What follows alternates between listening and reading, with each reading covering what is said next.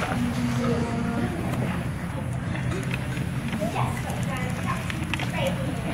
just got back from Miss office, and she's ordering us new cheerleading outfits.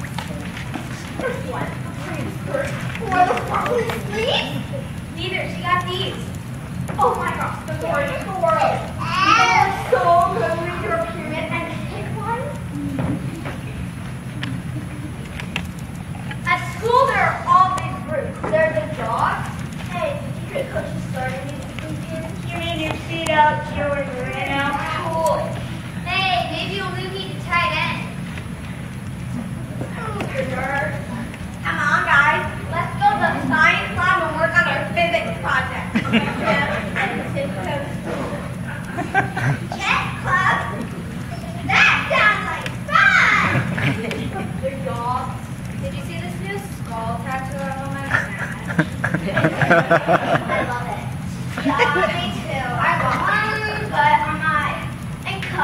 and of course, the cheerleader. We should get matching polish to match skirts. And hairbands. Great idea. So awesome! I've never been a part of a group. It's not that I'm antisocial. I mean, I love to belong.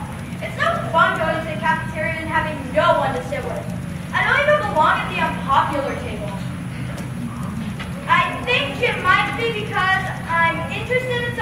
that people aren't interested in.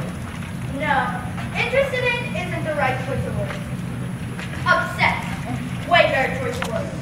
Anyway, here I am, a typical teenager with every of respect except for one thing. Are you ready? I love dancing the polka. Yes, I am obsessed with it. I began dancing way back when I was nine at my cousin's wedding, and I've been